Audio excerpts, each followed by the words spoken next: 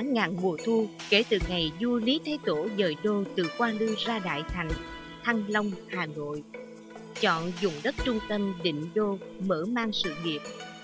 Vua Lý Thái Tổ đã khai sinh một kỷ nguyên mới, kỷ nguyên độc lập, ổn định, phát triển đất nước về mọi mặt. Từ đất thần kinh, các triều đại Lý, Trần, Hồ, Lê kế tục truyền thống dựng nước, giữ nước từ thời vua Hùng, vua Thục đã ra sức mở mang đại nghiệp, bồi đắp nên hào khí Thăng Long, trường tồn, bất diệt.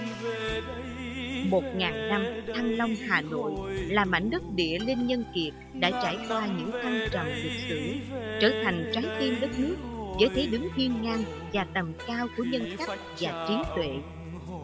Một ngàn năm ấy là biểu tượng ngàn năm của độc lập và tự do, thiết tha yêu hòa bình của cả một dân tộc Nói đến hào khí ngàn năm thăng long là nói đến cốt cách thiên ngang với ý chí dời non lấp bể của những thế hệ lạc hồng. Nói đến hào khí thăng long là nói đến sức thần phù đổng của cả một dân tộc không đợi tuổi, không màng danh vọng, sẵn sàng xông pha trận mạc, xả thân bảo vệ quê hương. Hào khí thăng long còn là trí tuệ thông minh, ham học hỏi, không chấp nhận thực tại đói nghèo, quyết chí khai cơ lập nghiệp, là truyền thống hòa hiếu, đem nhân nghĩa, chống bạo tàn, lấy chí nhân thay cường bạo. Ngược dòng lịch sử, bảy lần ngoại bang tiến vào thăng long mưu đập nát biểu tượng ấy của dân tộc, thì cả bảy lần nhục nhã ê chề, chút lấy thất bại. Ba lần giặc nguyên mông kéo vào thăng long trong thế kỷ 13 ba lần, chúng bị quét sạch khỏi bờ cõi, từ các cuộc tổng phản công của quân dân đại việt trong vòng 30 năm ấy, với ba lần chiến thắng kẻ thù hung hãn nhất của thế giới, hào khí Đông A cũng là hào khí Thăng Long đã được truyền tụng muôn đời và vị tướng hưng đạo đại dương Trần Quốc Tuấn đã trở thành Đức Thánh Trần có mặt trên mọi miền đất nước cùng dân tộc giữ gìn nền độc lập tự do và chủ quyền lãnh thổ.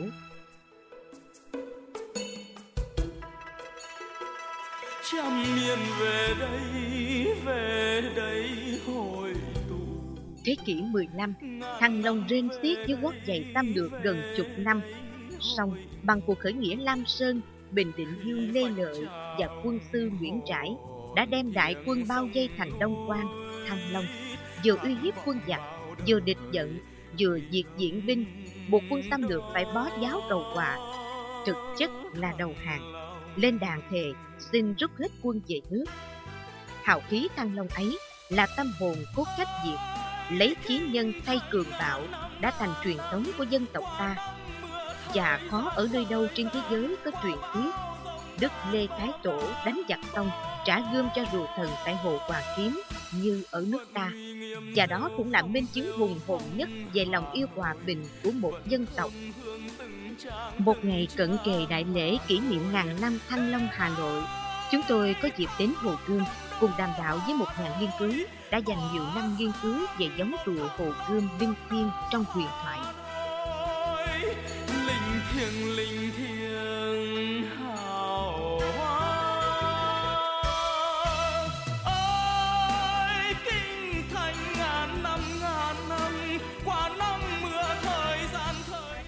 sư thì sau nhiều năm nghiên cứu thì à, phó giáo sư thấy là à, à rùa có cái biểu tượng đặc biệt gì đối với riêng Thăng Long Hà Nội ạ? À, đối với riêng Thăng Long Hà Nội thì à, ờ, rõ ràng là cũng như cả nước thì thì thần kim quy hay là rùa vàng à, ít nhất là xuất hiện hai lần. Lần đầu tiên là xuất hiện thế kỷ thứ ba trước công nguyên mà à, đã giúp An Dương Vương cho An Dương Vương mượn thanh bảo kiếm để chém đầu gà Thanh trắng xây thành cổ loa. Và chém sau sau ờ, đầu gà Thanh trắng thì quỳ xuống trả gươm và sau khi mà nhận gươm rồi thì thần kim quy lại cho mượn cái móng để làm lẫy nỏ. Và chính cái lẫy nỏ hay là cái nỏ thần đó đã đánh tan quân triều đà đánh tan quân triều đà. À, cho nên là thần kim quy xuất hiện từ thế kỷ thứ ba trước công nguyên.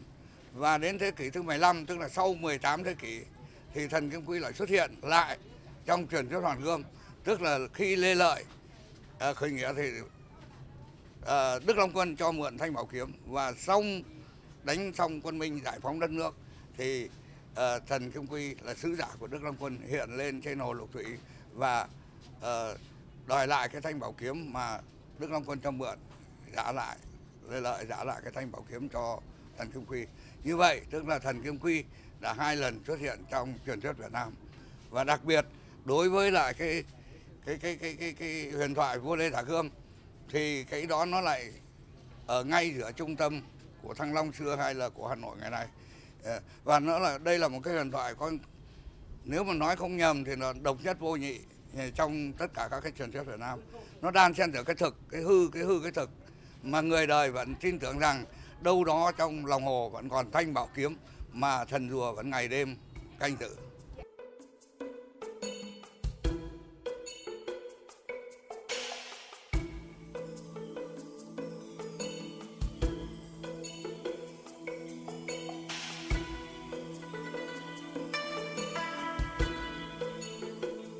Thế kỷ 18, hào khí Thăng Long lại trỗi dậy bừng bừng trong cuộc hành quân thần tốc bất ngờ sáng mùng 5 Tết Kỷ Dậu 1789 của vua Quang Trung cùng các tướng sĩ Tây Sơn quét sạch 29 dạng quân Thanh ra khỏi kinh thành Thăng Long.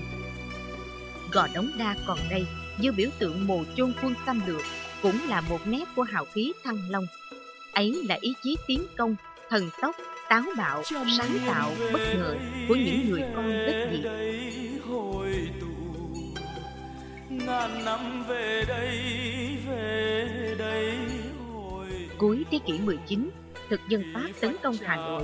cửa ô quan trưởng còn ghi chiến tích thà hy sinh tất cả, quyết không cho địch vào thành.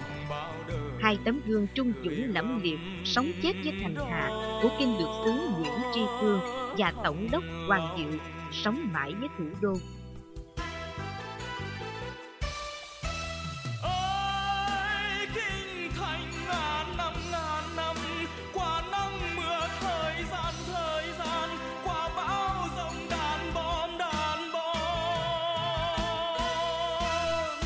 Thế kỷ 20, Thăng Long chứng kiến cuộc chiến đấu 60 ngày đêm ở Liên Khu 1 với lời thề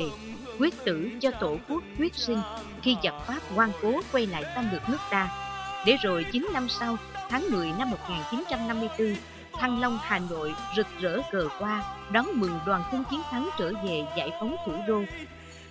12 năm sau, năm 1972, không lực Hoa Kỳ mò vào Thăng Long Hà Nội định dùng bơm B-52 rải thảm hòng khuất phục ý chí của một dân tộc đã phải thảm bại trong một điện biên phủ trên không buộc giặc Mỹ phải ký hiệp định Paris rút quân về nước.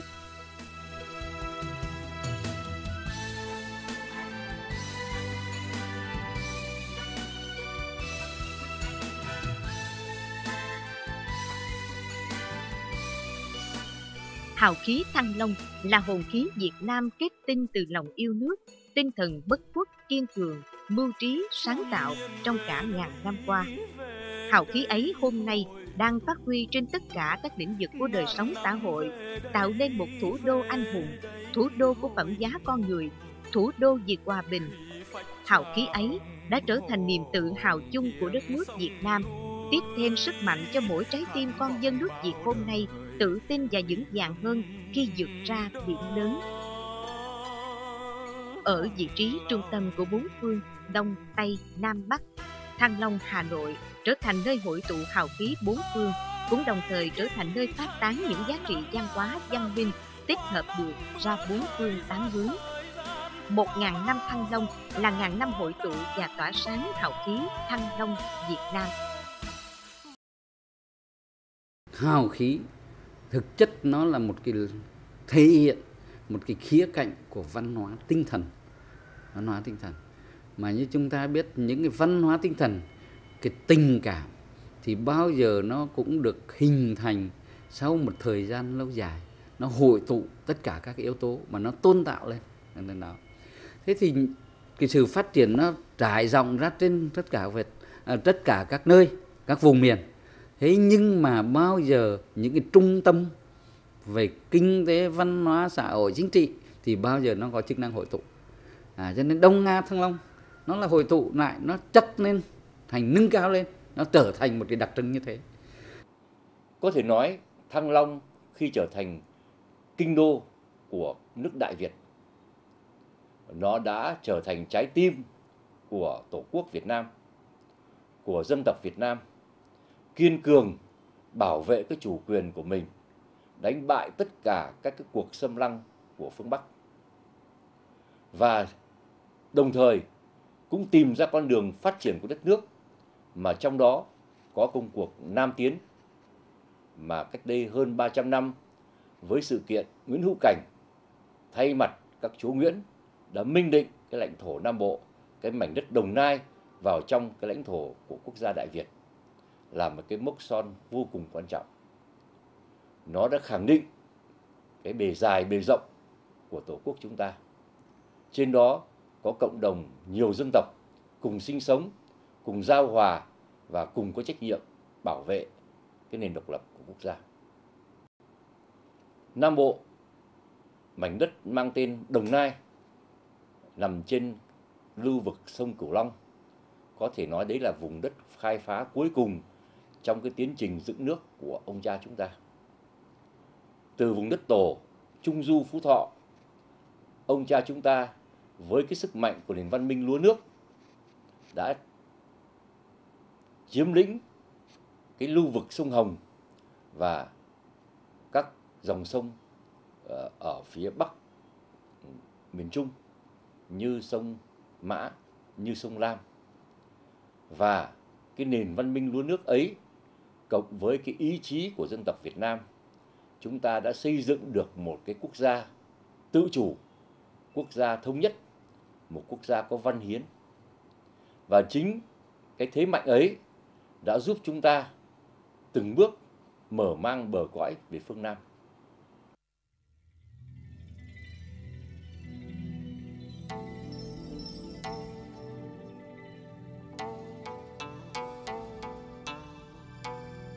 Gần 400 năm trước đây, những đoàn lưu dân người Việt không chấp nhận áp bức chiến tranh phong kiến, bắt đầu cuộc hành trình phương Nam tìm đất mưu sinh. Hành trang họ mang theo không chỉ là một nỗi khắc khoải, hoài niệm cố hương, mà còn là hào khí người mở cõi, là những kinh nghiệm tích hợp từ gian quá Thăng Long. Kể từ khi kinh lược sứ lễ thành hầu Nguyễn Hữu Cảnh và các bậc tiền nhân xác lập nền hành chính đầu tiên đến nay, dùng đất biên hòa Đồng Nai đã có hơn 310 năm hình thành và phát triển. Từ ngày ấy đến giờ, đã bao thế hệ tiếp nối nhau lớn lên trên mảnh đất Đồng Nai này. Nhưng người Đồng Nai vẫn luôn nhớ mình là con cháu vô hùng, vẫn gắn bó với truyền thống tổ tiên cha ông Đại Việt. Lịch sử đã ghi lại biết bao thăng trầm với không ít sự biến động trên nhiều lĩnh vực của vùng đất này nhưng dùng đất địa linh này đã góp phần dung đắp tài bồi lên nhân kiệt sản sinh bao anh hùng tạo nên một hào khí đồng nai bền vững với bản sắc riêng gian danh sự sắc. Hào khí đồng nai là hào khí sản sinh từ truyền thống ham học hỏi chuộng đạo lý thánh hiền của dân tộc. Được trui rèn trong cuộc đấu tranh sinh tử vì độc lập. Hào khí đồng nai là hào khí của những thế hệ người Việt không chấp nhận thân phận nô lệ, đô hộ. Mấy trăm năm mở cõi cũng đồng thời là mấy trăm năm khẳng định chủ quyền, bảo vệ độc lập. Cuối thế kỷ 19, khi Biên Hòa gánh lấy vai trò địa đầu của lục tỉnh Nam Kỳ trong cuộc đụng đầu với giặc xâm lược Pháp, khí phách can trường ấy càng hiển hiện. Hết lớp này đến lớp khác, bao người con ưu tú của đồng nai gia đình sẽ đứng lên chống giặc mang hào khí đồng nai đi vào lịch sử. Lịch sử đất này sẽ mãi ghi nhớ hình ảnh những bậc anh hùng Nguyễn Tri Phương, Nguyễn Duy, Võ Duy Ninh đã ngã xuống trong những trận đánh bảo vệ thành gia đình. Những đoàn văn cự Nguyễn Đức Ứng, giấy nghĩa binh chống Pháp và bao người dân ấp, dân lân vì mến nghĩa làm quân chiêu mộ. Bao anh hùng vô danh khác đã lấy máu mình tô thắm truyền thống yêu nước chống giặc của cha ông. Từ ngày có đảng, từ Phú Riềng Đỏ đến chiến dịch Hồ Chí Minh, người dân Đồng Nai theo đảng, theo Bác Hồ đánh Pháp đuổi Mỹ, lập bao chiến công hiển hách với một hào khí Đồng Nai ngày càng sáng ngời, tỏa rạng. Nghĩa là cái người Đồng Nai nó phóng khoáng. À, người Đồng Nai nó không qua tiền ra gì coi con người là chính không coi chết ra gì coi cái nước cái độc lập là chính. Không coi cái quyền lợi nhỏ nhoi ra gì. Coi cái danh dự là cái chính đó là học khí đồng nai. Trong những năm 30 của thế kỷ 20, khi chi bộ đảng đầu tiên của đảng bộ Đồng Nai ra đời, trong thời kỳ đau thương mà hào hùng của khởi nghĩa Nam Kỳ, trong khí thế ngút trời của cách mạng tháng 8 của Nam Bộ kháng chiến, mảnh đất miền Đông gian lao mà anh dũng này tiếp tục sản sinh những con người yêu nước thương nòi, giàu tinh thần nghĩa hiệp, mang hào khí Đồng Nai đi vào kháng chiến, mà tiêu biểu là nhà thơ chiến sĩ Quỳnh Văn Nghệ. Con người vừa đánh giặc vừa làm thơ, lá cờ đầu của hào khí Đồng Nai trong cuộc kháng chiến 9 năm chống Pháp. Người dân Đồng Nai trân trọng gọi ông là Thi Tướng. Tên tuổi ông gắn liền với chiến khu đê quyền thoại với những chiến công gian dội như các chiến thắng La Ngà, Bầu Cá, Trảng Bơm. Nhưng ông cũng chính là tác giả của hàng trăm bài thơ hào sản, ngùng ngục khí thế chiến đấu, ban nặng tình yêu quê hương đất nước. Ai về Bắc ta đi giới, thăm lại non sông giống lạc hồng, từ độ mang gươm đi mở cõi, trời Nam thương giới đất Thăng Long.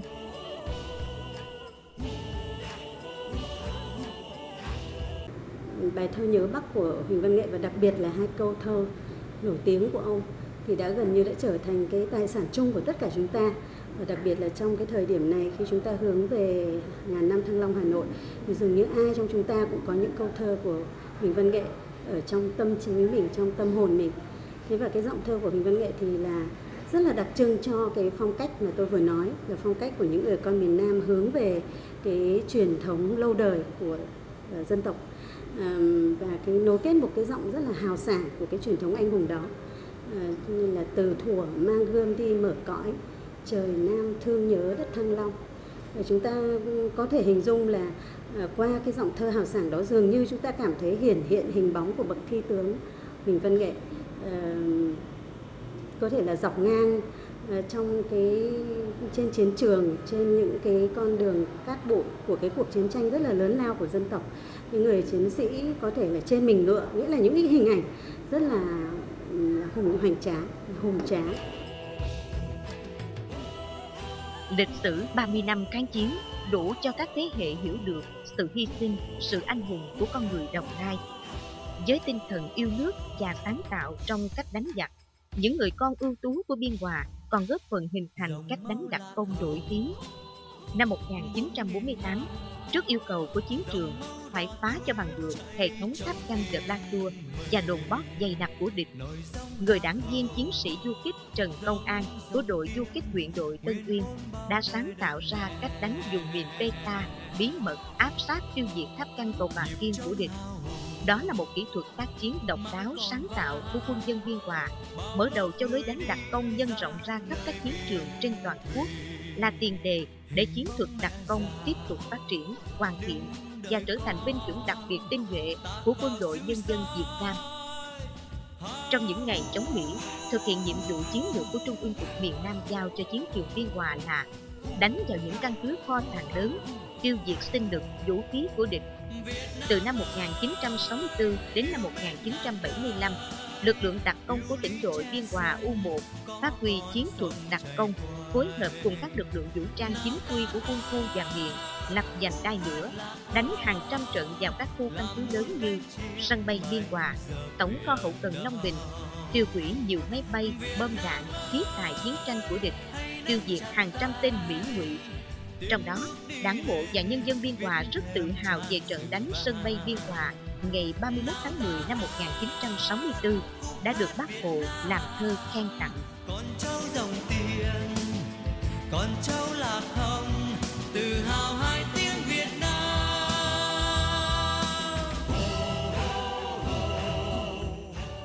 Uy danh lừng lẫy khắp năm châu,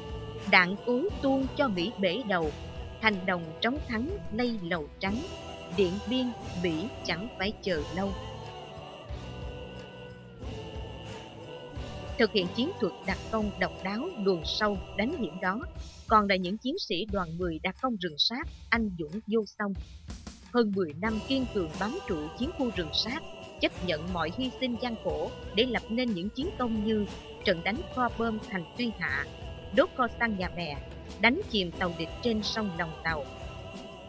Người ta nói, mỗi chiến sĩ đặc công cũng là một cảm tử quân. Hàng trăm chiến sĩ của đoàn 10 rừng sát đã ngã xuống trên chiến trường,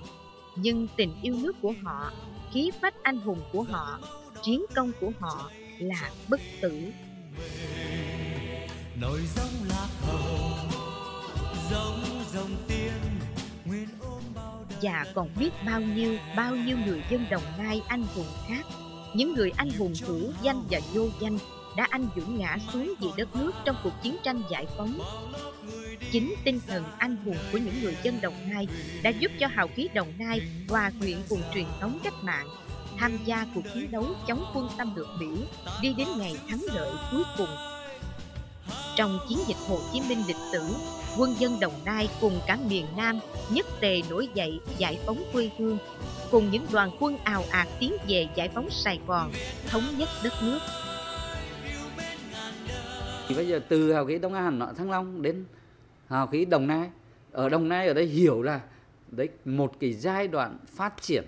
một cái giai đoạn nâng tầm vóc của là là là là là là, là nước ta à, quả trải qua một quá trình rất lâu dài. Thế thì nó phải nói rằng thế này nó vừa có cái chung là cái hào khí ấy nó có cái chung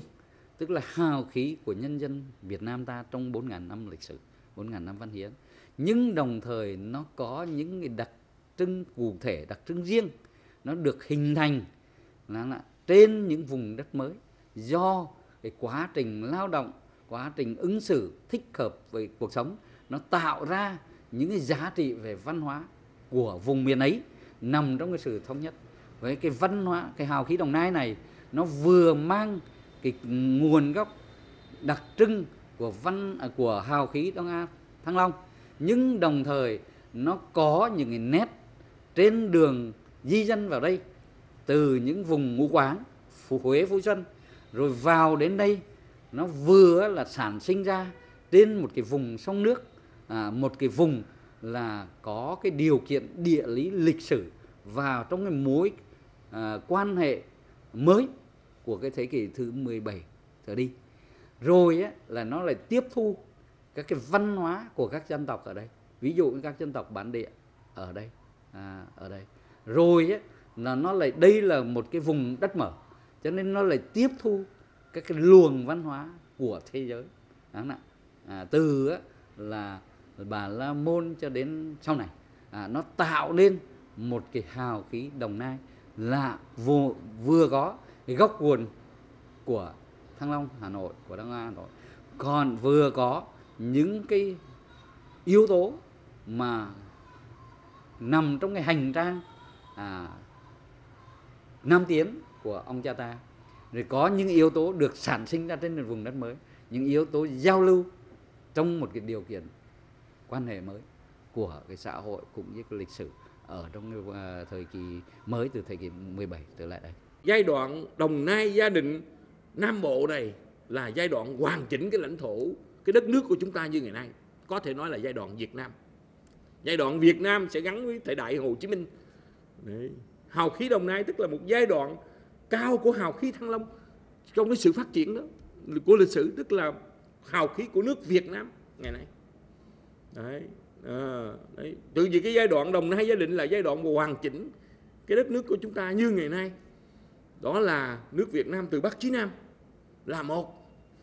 đấy, đó chính là giai đoạn Việt Nam và đó chính là à, coi như thời đại Hồ Chí Minh. Ừ, thì cái hào khí đó chúng ta cũng đã thấy rất là rõ rồi. Để chúng ta đã đánh tan hai cái đế quốc lớn à, là đế quốc Pháp và à, đế quốc Mỹ là thực dân Pháp và đế quốc Mỹ. Giành thắng lợi trong sự nghiệp giải phóng dân tộc giành độc lập dân tộc. À,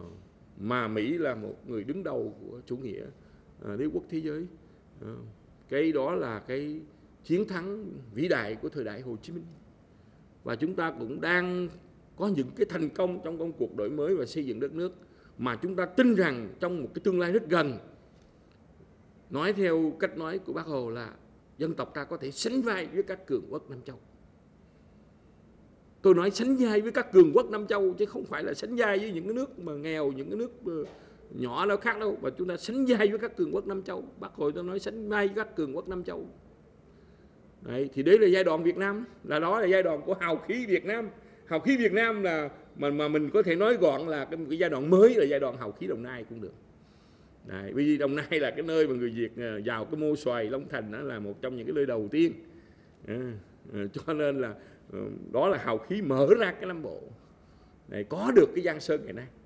Đấy, nhưng mà nó không phải là cục bộ của một cái cái vùng đất mà nó chính là một cái khí thiên sông núi nghìn năm kết tụ lại tức là Việt Nam